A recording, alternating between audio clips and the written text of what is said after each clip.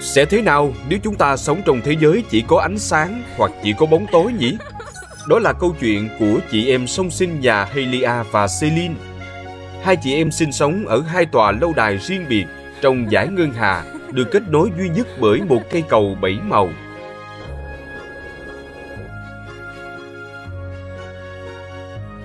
Helia là nữ thần ban ngày tượng trưng cho ánh sáng. Nàng có mái tóc rực rỡ, đôi mắt nhiệm màu.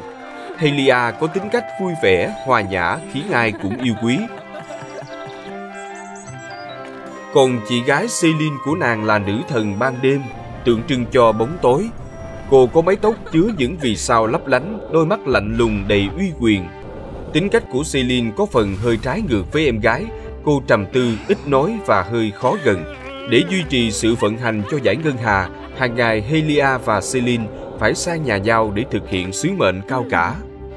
Nữ thần ánh sáng Helia sẽ đến lâu đài Celine để báo hiệu một ngày mới lại đến, giúp cho những thần dân của vương quốc bóng tối bắt đầu công việc của mình.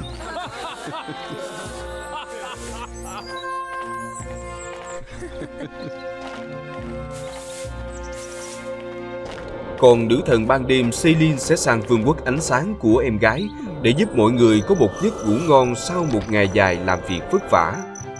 Chuyện không có gì phải bàn, cho đến một ngày hai chị em xảy ra mâu thuẫn. Sao chị lại đẩy mạnh thế? Do em kém, không đỡ được thôi, Helia. Cả hai đều cho mình là người mạnh nhất. Cuối cùng, Helia và Celine tức tối bỏ về lâu đài của mình. Và đó cũng là lúc cuộc sống của hai lâu đài bị đảo lộn. Lâu đài ban ngày của Helia lúc nào cũng sáng trưng, không có lấy một giây phút nhường chỗ cho bóng tối. Dần dần, thần dân chán nản, buông bỏ công việc và tìm cho mình những nơi kín đáo không có ánh sáng. Helia cảm thấy buồn chán vì không có ai bầu bạn. Nàng cứ lủi thủi làm mọi việc một mình.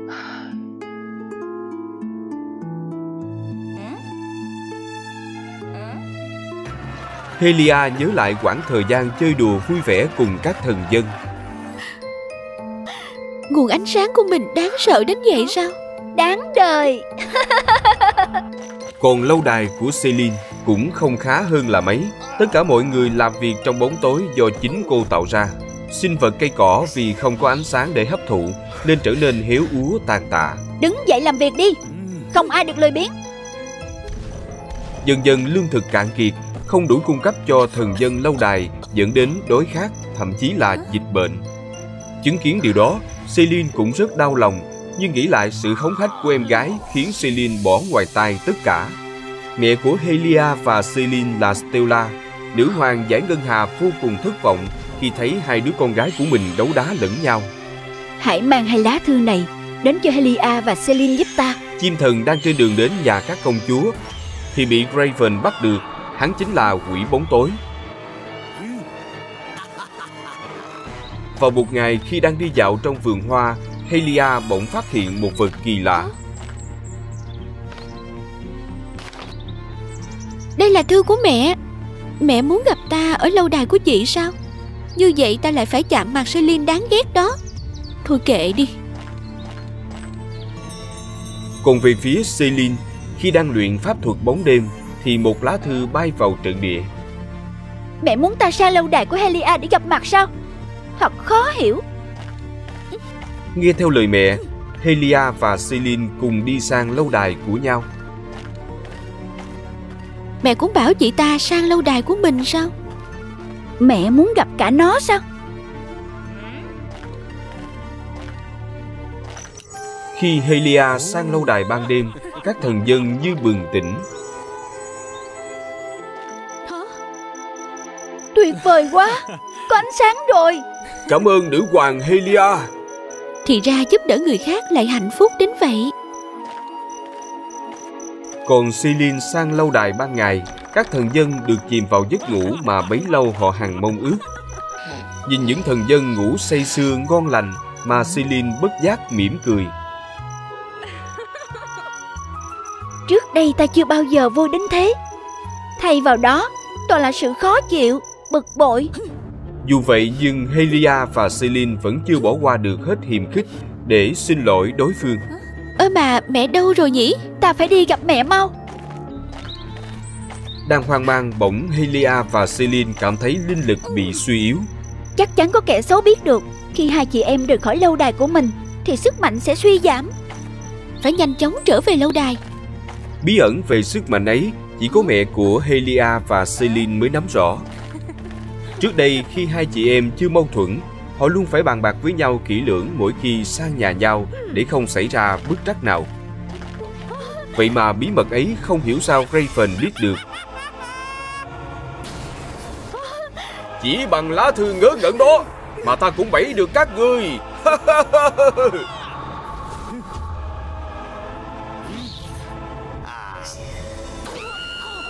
Helia và Celine không đủ linh lực nên bị hút vào ma trận của Raven. Cả hai rơi vào một khoảng không vô định, mênh mông không thấy đường ra. Đây là đâu Celine Im lặng đi để ta suy nghĩ Hai chị em cứ đi mà không biết đang đi đâu. Bỗng mặt đất rung chuyển, nứt ra tạo thành hố dung nham khổng lồ. Helia bất cẩn, bị trượt chân ngã theo đống đất đá rơi. Celine buông tay đi. Em không muốn chị bị liên lụy. Không Chị nhất định phải cứu em. Helia và Celine tỉnh dậy, cả hai vô cùng hoang mang khi thấy mình vẫn nằm ở không gian vô định. May quá chúng ta không sao. Em thực sự xin lỗi. Lỗi tại chị Tại chị mà mâu thuẫn của chúng ta căng thẳng như vậy Cuối cùng các con cũng hiểu được nhau Sao mẹ lại ở đây Nữ hoàng Stella buồn bã kể lại, trước đây Raven là người mà bà đem lòng yêu say đắm. Mọi bí mật bà đều kể với Raven, kể cả điểm yếu của hai chị em. Thời gian chung sống, Raven đã âm thầm hút hết sức mạnh của nữ hoàng. Về sau, khi nữ hoàng phát hiện hắn chính là hiện thân của quỷ bóng tối, lợi dụng bà để chiếm đoạt ngôi vị. Nhưng do bận lòng về hai chị em, nên nữ hoàng muốn làm một điều cuối cùng, đó là giúp các con hòa giải. Chúng con xin lỗi vì là mẹ buồn lòng Chúng con thật vô tâm Các con Chỉ có đoàn kết mới là sức mạnh giúp chúng ta chiến thắng Helia và Celine gạt bỏ sự đau buồn cùng nhau hợp sức lại. Ánh sáng bóng tối sẽ nằm hết trong tay ta. Hả? Không! Hai phương quốc vui mừng vì nỗi lo sợ của họ giờ đây đã được xóa bỏ. Helia và Celine giờ đây cũng yêu thương nhau hơn. Họ không còn đố kỵ nhau về bất kỳ điều gì. Hai phương quốc được sống đúng theo sự vận hành của tự nhiên, luôn được thức dậy bởi ánh sáng trong trẻo và chìm vào giấc ngủ bởi màn đêm im dịu. Câu chuyện hôm nay kết thúc tại đây Hãy cùng bấm nút subscribe qua Fairy Tail Để biết về những câu chuyện hay và cảm động Ngày xưa ngày xưa, bầu trời buổi tối chỉ là một màn đêm đen kịt để khiến bầu trời trở nên đẹp hơn.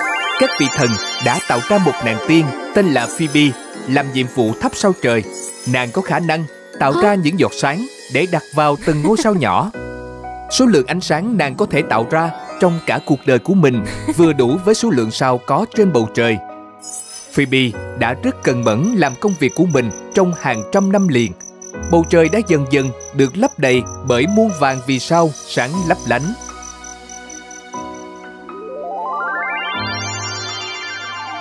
Vời, đây là ngôi sao cuối cùng Khi nó được thắp lên, mình sẽ hoàn thành được nhiệm vụ Bất ngờ, một vật lạ gì đó va mạnh vào Phoebe, khiến nàng đánh rơi giọt sáng cuối cùng xuống mặt đất.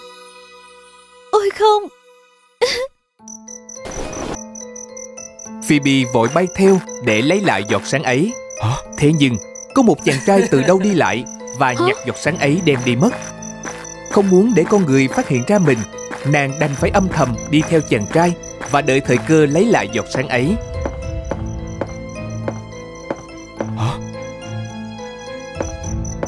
Otis, con về rồi đó sao Dân thưa mẹ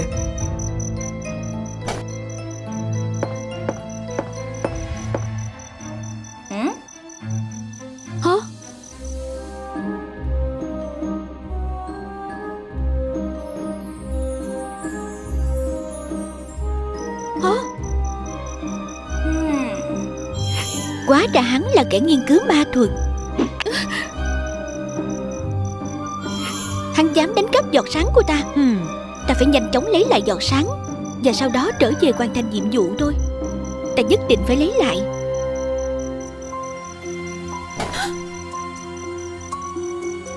Hả? Nàng là ai? Tại sao lại vào đây chứ? Ta đến đây lấy lại giọt sáng của mình Ngươi trả lại nó cho ta đi hmm. Ngươi đừng có ba qua nữa Hãy nhanh trả lại giọt sáng cho ta. Hóa ra nàng chính là tiên thấp sao Nàng đẹp hơn ta nghĩ nhiều đó. Hả?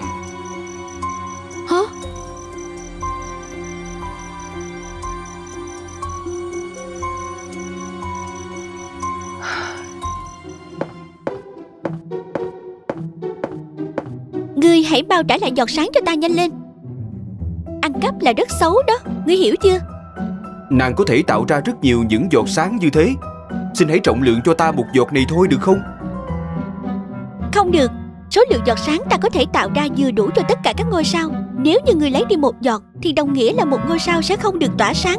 Ta không thể nào cho ngươi được. Hả?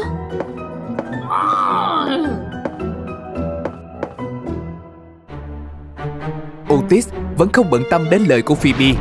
Chàng đặt giọt sáng vào một cỗ máy kỳ lạ Hả? Ngươi định làm gì với nó? Dừng lại ngay.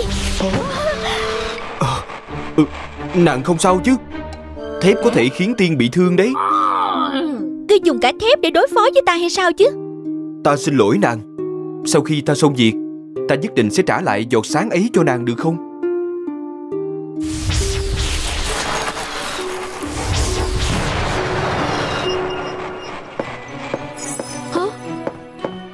Đang đi đâu vậy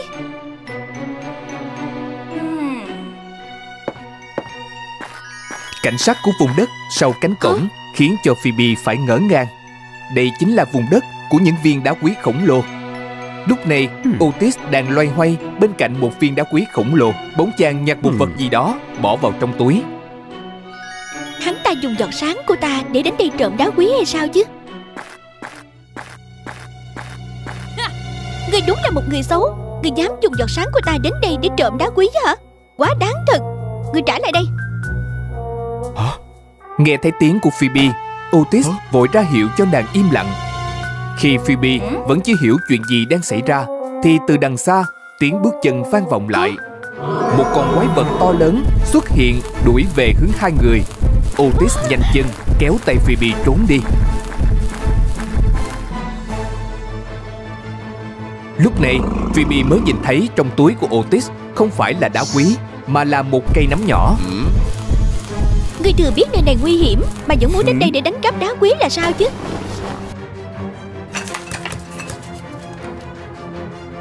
Hmm. Hả? Không phải lúc nãy Ngươi đã lấy đi một viên đá quý hay sao Ta đến đây là gì Để hái loại nắm đá quý nó chỉ mọc bên dưới những viên đá quý khổng lồ thôi Nó có thể chữa hết căn bệnh mà mẹ của ta đang mắc phải Lúc nãy vào thăm mẹ Ta đã thấy mẹ rất yếu. Nên nếu không có cây nấm này Có lẽ mẹ sẽ không qua khỏi đêm nay đâu.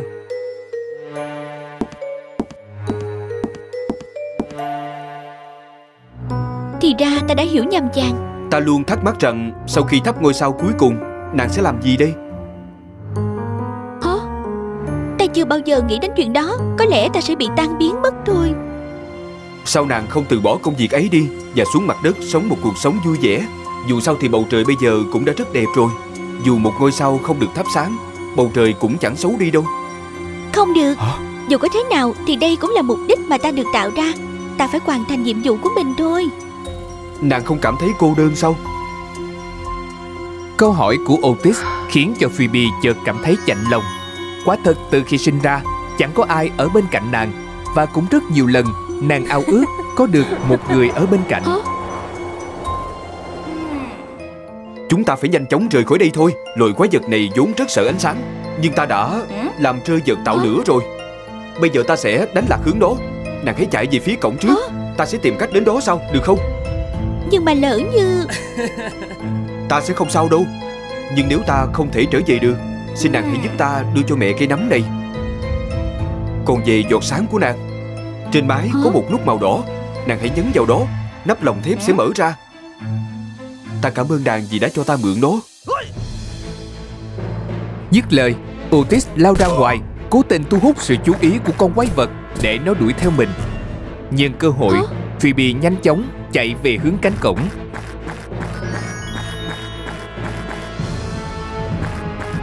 Còn về phần Otis, con quái vật quá to lớn và hung dữ khiến chàng phải mất rất nhiều sức để né tránh.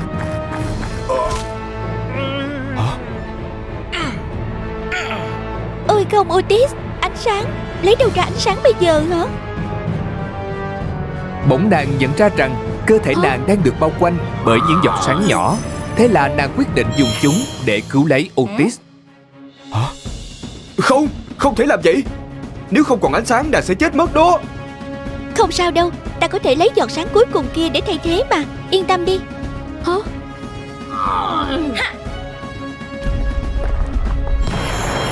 Dứt lời, nàng ném giọt sáng đến trước mặt con quái vật. Các viên pha lê bắt sáng và khúc xạ nó đi khắp nơi, làm sáng rực cả một vùng. Khi hai người vừa chui qua cánh cổng, con quái vật đã hất một viên đá lớn theo họ. Viên đá va đập vào cỗ máy khiến cho cỗ máy vỡ tan. Giọt sáng cuối cùng cũng vì thế mà tan ra rồi biến mất giữa không trung. Phoebe đã chẳng còn chút ánh sáng nào, cơ thể của nàng bắt đầu mờ dần.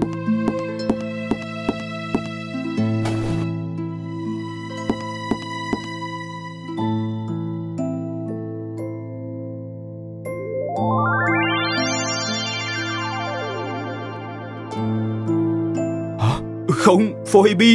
Bây giờ ta biết phải làm như thế nào để cứu nàng rồi. Sao nàng lại ngốc như vậy chứ Nàng hãy mau tỉnh lại đi. Ta rất vui thì bản thân cũng giúp ích được cho ai đó trước khi tan biến. Cảm ơn ngươi đã cho ta biết cảm giác được quan tâm hạnh phúc như thế nào. Ta xin lỗi Tất cả là do ta hết.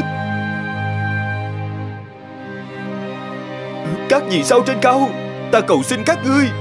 Cả cuộc đời nàng đã cho đi rất nhiều ánh sáng. Xin các người hãy trả lại cho nàng ấy Dù chỉ một ít thôi Bất ngờ, một điều kỳ diệu đã xảy ra. Từ trên trời, ánh sáng từ các vì sao bay đến cơ thể Phoebe. Hả? Otis Phoebe, nàng tỉnh lại rồi Cảm ơn các vì sao đã nghe thấy lời thỉnh cầu của ta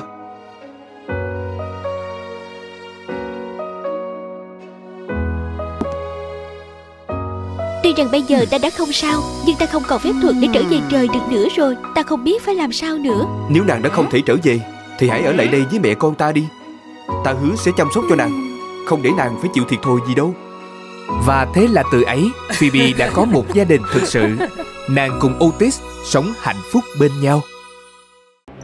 Ở tập trước Vì đỡ đòn vuốt quỷ của thần chết heo Cho Julia Mà cả Ethan và Julia Đều mất đà ngã xuống vực. Lần này Ethan có thể làm gì để cứu Julia thoát nạn Hãy cùng Wow Fairy Tale khám phá diễn biến tiếp theo nhé. May thay nhờ cành cây cản bớt Hai người ngã xuống xe chở rơm Ethan đã đi ké trước đó. Julia và Ethan bình an vô sự trên xe chở rơm. Julia lo sợ thần chết heo sẽ không tha cho cô Nhưng Ethan đã kịp trấn an cô. Chúng ta phải làm sao đây? Cô ta sẽ không tha cho tôi đâu. Cô yên tâm đi. Thần chết hen sẽ chủ quan và nghĩ rằng cô chắc chắn không thoát được Khi rơi từ vực cao như thế này Cô ta sẽ bỏ đi thôi. Nhưng Nhưng cô ấy đã không ngừng tấn công tôi. Ừm, Nghe đây Cô là người đầu tiên tôi thực hiện nụ hôn thần chết Nên chỉ tôi mới được phép đưa linh hồn cô qua cổng ma thuật Dẫn về địa ngục thôi à. Mọi thần chết khác không được xen vào đâu. Thần chết hen chỉ đang cố gắng tách linh hồn ra khỏi thể xác của cô. Để buộc tôi phải hoàn thành nhiệm vụ đó thôi. Cậu đã bất chấp nguy hiểm mà giúp tôi thực hiện nguyện ước cuối cùng. Tôi rất biết ơn vì điều đó Cậu yên tâm đi Tôi hứa kể từ giờ sẽ không nói dối hay lừa cậu nữa đâu. Tôi sẽ tự nguyện hôn cậu Khi đã hoàn thành ước nguyện của mình. Ờ, à đây Julia à, cô bị thương rồi. Để tôi băng bó lại giúp cô. Ethan xé một bên vạt áo rồi băng bó cho Julia. Ethan đã không ngại nguy hiểm hết lần này tới lần khác chống lại heo để cứu mình. Cậu còn sẵn sàng để giúp mình thực hiện nguyện ước cuối cùng nữa. Ethan quả là một thần chết tốt bụng Về phía heo, đúng như Ethan phỏng đoán Heo lúc này chủ quan nên đã bỏ đi mà không kiểm tra lại. Heo đứng trên bờ vực. Rơi xuống vực sâu như thế này, cô ta làm sao mà có thể sống sót được? Ethan, ta chỉ có thể giúp cậu tới đây thôi. Mang linh hồn đó về là nhiệm vụ của cậu, ta không thể xen vào. Sau này đừng quên ơn ta đó nha. Heo vuốt lưỡi hái biến mất.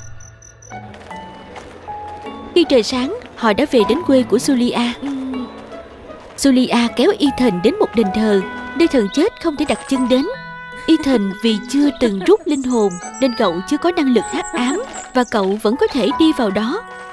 Cả hai đứng trước một đền thờ. Đi thôi, tôi dẫn cậu đến gặp ông cụ trong đền và em trai của tôi.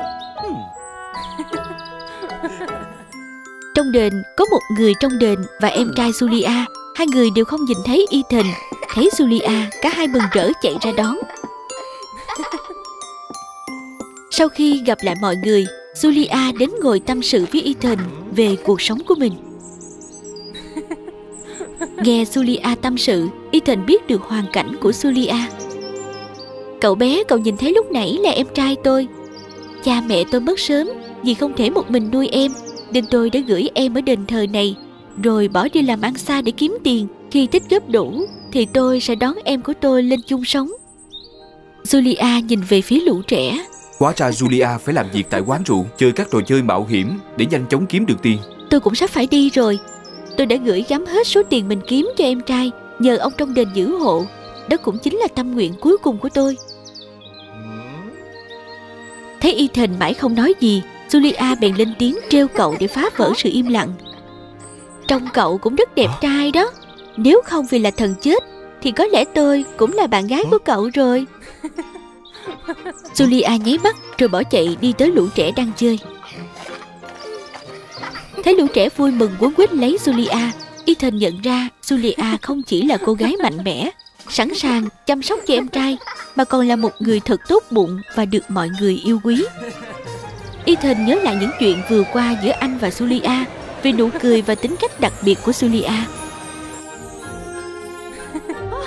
Cô đã không ngại nguy hiểm đỡ phúc hổ cho anh Không chỉ vậy cô còn rất biết hy sinh vì gia đình mình nữa Tất cả khiến cho cậu thêm dao động và không nỡ thực hiện nhiệm vụ của mình dù đã sắp hết thời gian. Đêm đó, hai người nói với nhau rất nhiều điều. Ethan này, nếu thời gian hết hạn thì sẽ ra sao? Ờ, nếu tôi đoạt linh hồn của cô trễ hơn 36 giờ, như sổ tử thần đã định sẵn, thì tôi sẽ phải chịu lời nguyền của cổ thần. Lời nguyền của cổ thần là lời nguyền đã có từ xa xưa rồi. Trước cả khi cha tôi ra đời, nó là một lời nguyền không ai muốn dính vào Bởi cái giá phải trả quá đắt Cổ thần sẽ trực tiếp ra tay định đoạt hồn của thần chết Phạm phải lời nguyền đó Nếu như tôi không làm theo những gì đã định sẵn rồi Thì tôi phải chịu hoàn toàn trách nhiệm Tôi... Vì cô đã hứa rồi Và thấy cô không phải là người chỉ biết nói suông Nên là tôi tin cô dữ lắm. Julia bỗng bối rối khi Ethan nói cậu tin cô. Cô vội lấy lý do để kết thúc câu chuyện. Tôi... tôi buồn ngủ rồi Tôi phải về phòng đây. Dù sao đây cũng là đêm cuối cùng của tôi trên đời. Sáng mai thức dậy tôi sẽ thực hiện nụ hôn với cậu như đã hứa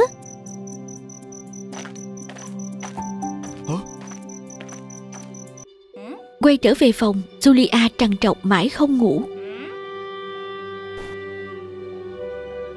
Lâu lắm rồi mình mới gặp lại em trai, Cứ nghĩ đến em, Mình lại càng không nỡ để lại em một mình. Mình nên bỏ đi để tiếp tục sống Hay nên ở lại đây?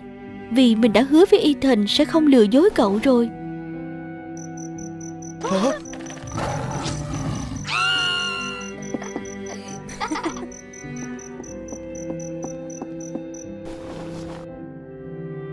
Cùng sau một hồi phân vân Julia lại một lần nữa bỏ đi Sáng hôm sau Ethan thức dậy Nhưng không thấy Julia đâu Cậu thất vọng và buồn bã Tuy là một lần nữa bỏ đi, nhưng Ethan lần này không giận mà còn thông cảm cho cô. Con người ai mà chẳng khao khát được sống chứ. Julia lại bỏ đi cũng phải thôi.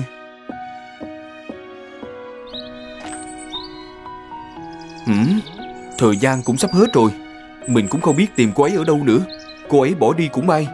Bởi vì mình không đỡ thực hiện nụ hôn thần chết với cô ấy Mình thà phạm vào lời nguyền còn hơn Ở dưới địa ngục, vua thần chết Dream Reaper nhận thấy sự thất thường từ sổ tử thần. Dream Reaper nhìn sổ thì hoảng hốt.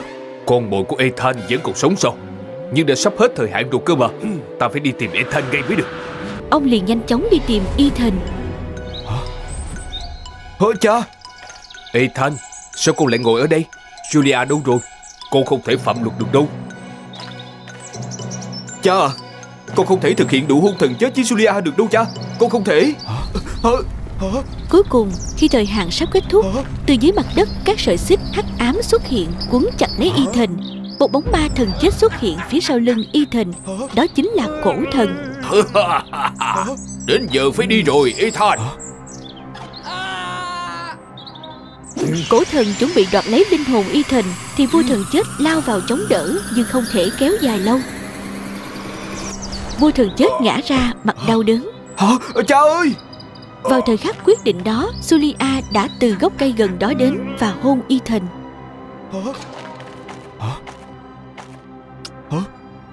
Quá ra Sulia đã định cùng em trai bỏ đi Nhưng họ chưa đi xa. Họ đã núp sau bụi cây gần đền thờ Và Sulia đã chứng kiến tất cả Sulia và em trai nấp sau gốc cây bên đền thờ Nhìn ra Ethan đang bị dây xích trói.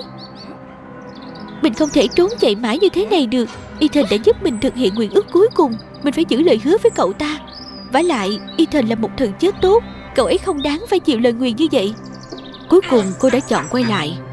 Em hãy ở lại đây nhé.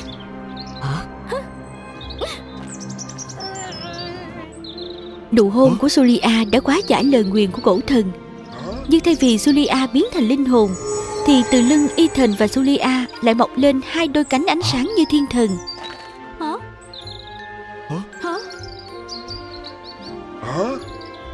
Chuyện gì xảy ra thế này?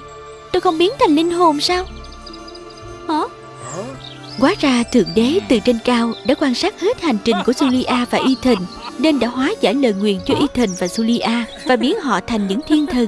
Ethan, Julia Cả hai con đều là những người có lòng trắc ẩn Và biết yêu thương mọi người Tình cảm của hai con dành cho nhau Đầy sự dũng cảm Khiến ta thực sự rất xúc động Các con xứng đáng được sống cuộc sống của các thiên thần Sulia và Ethan hạnh phúc bay lên trời. Là Thượng Đế đã giúp chúng ta Giờ chúng ta phải đi thôi Cả hai vui vẻ phẩy tay chào mọi người. Còn vua thần chết rất tức giận khi chứng kiến sự việc này.